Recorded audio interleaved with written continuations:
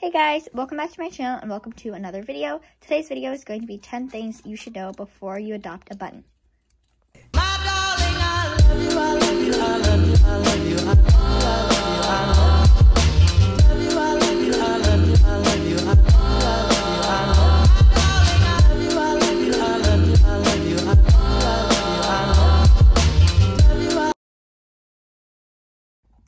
Okay, so my first thing that you should know before you adopt a rabbit is that they are very destructive.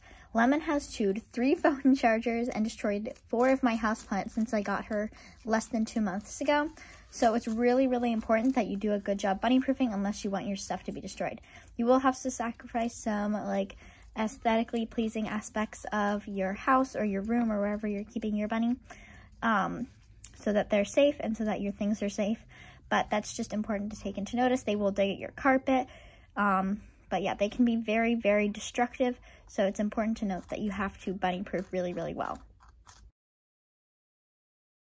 Okay, number two is that they need really, really large enclosures, if not free roamed.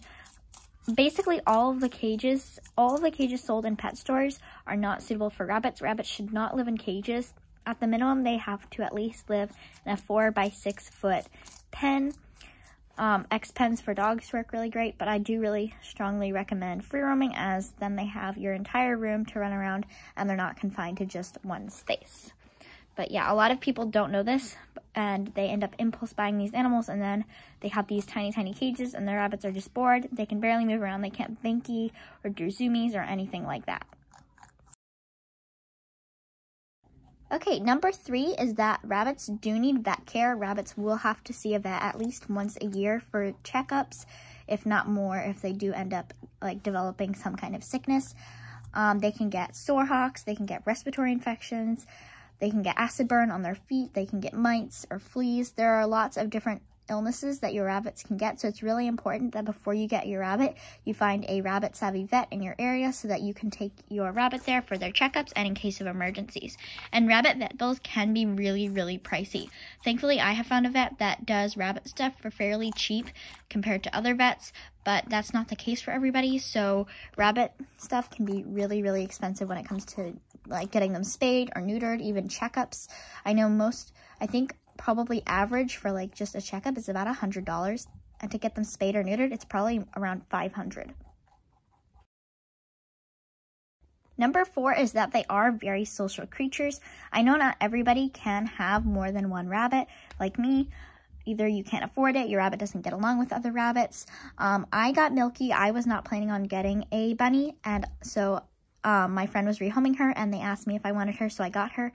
Um, I wasn't planning on getting a rabbit. If I was, I probably would have gotten two, but I'm just not currently suited to take care of two rabbits. I can't afford it, and I just don't have the time and stuff to put into owning two rabbits at the moment, so one is all that I can handle, but hopefully once I'm, maybe have a job or something, and I'm an adult, I can pay for two bunnies, because that is the ideal situation, is that you can have a friend for your rabbit. Okay, our next one is that rabbits have very, very long lifespans. They can live anywhere from 8 to 12 years.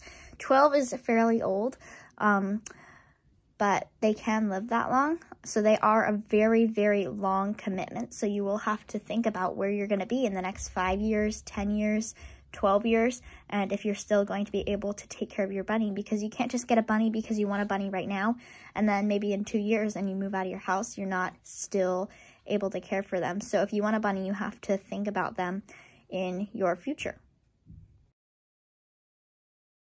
Okay, my next thing that you should know before adopting a bunny is that they are very, very expensive animals.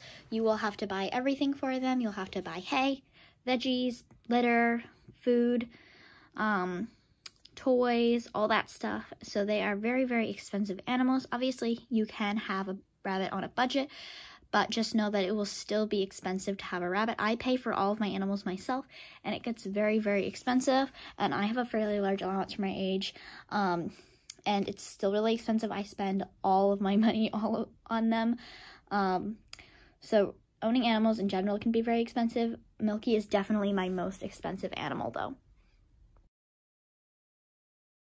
Okay, so number seven is that rabbits are not always super cuddly. I know in the media and in TV shows and stuff, they're always portrayed as like super cuddly, affectionate animals. And yes, some bunnies are like that, but the majority of bunnies aren't always going to want to like snuggle with you and like lick you and like sleep with you and stuff. They're mostly just going to want to do their own thing for the most part, but they obviously will want to cuddle with you sometimes, just not maybe as much as the media portrays them. Even a lot of bunnies on YouTube are like very affectionate bunnies. Like um, when you're comparing them to other bunnies. Milky loves to cuddle probably about like three or four times today, but she doesn't usually like come up to me and beg for me to cuddle her. She will like ask for attention and treats and stuff, but for the most part, they aren't super ridiculously cuddly animals and they don't love to be held because obviously they are prey animals, so they're not going to love to be held all the time.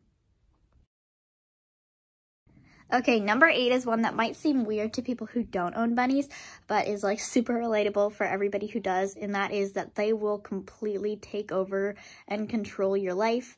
Um, I loved bunnies even before I got a bunny, but now that I have one, I spend all my time just looking at her and taking pictures of her. Basically, my entire camera roll is just pictures of her. I get all my exercise from taking her for walks in her stroller. I spend all my monies on new toys and stuff like that for her. They will just completely take over your life. Whenever you meet new people, it'll always be, do you want to see a picture of my bunny?